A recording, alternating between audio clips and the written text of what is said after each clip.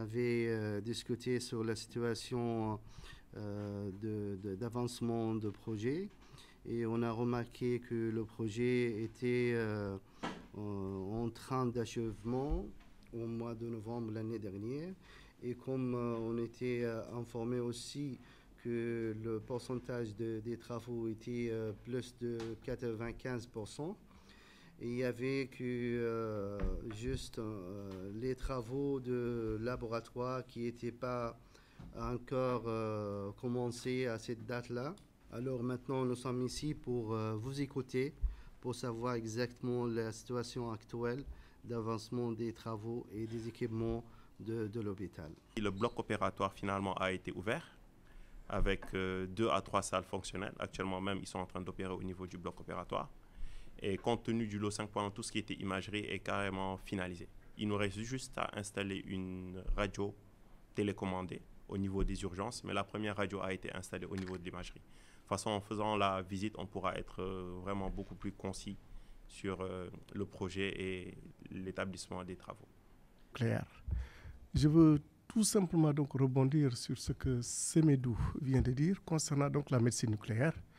C'est vrai qu'on est en train d'installer le Spect City. Il y a donc la formation, n'est-ce pas, qui est donc la dernière étape.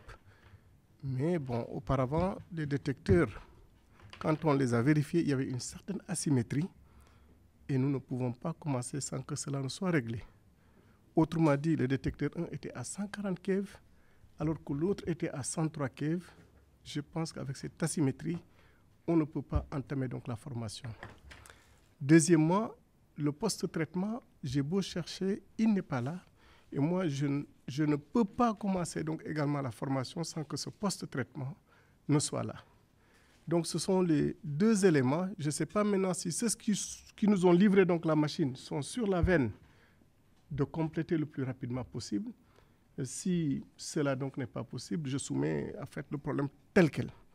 Le dernier élément, c'est que la médecine nucléaire est une Imagerie est une thérapie donc de pointe qui vient en appui à la radiothérapie, à la chimiothérapie et à l'oncologie.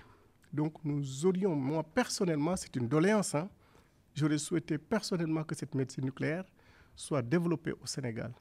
J'ai fait donc euh, il y a trois jours une conférence en Côte d'Ivoire, mais ils sont à la pose de la première pierre pour un PET City. Nous en sommes au SPECT City, alors qu'ils n'ont qu'un professeur agrégé de médecine nucléaire, nous en avons trois professeurs titulaires. Je pense qu'on était bien parti, mais à ce rythme-là, il risque donc de nous égaler ou alors de nous devancer. C'est un plaidoyer. Je ne sais pas sa faisabilité, est-ce que c'est faisable ou pas, mais c'est mon rêve le plus cher.